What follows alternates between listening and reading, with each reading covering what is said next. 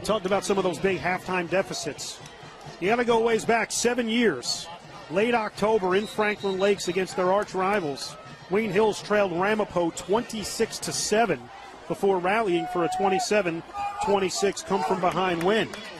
Timeout. Chris Olsen will spend the first, the Patriots' first time out of the half with 8.54 left to play in the third, and his team down 23 0.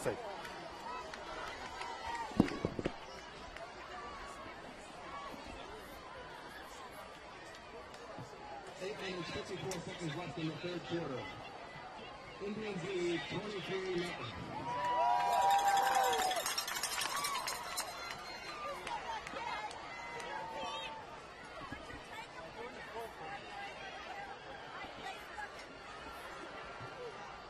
The 50-50 raffle ticket is 879565. Please come to the press box.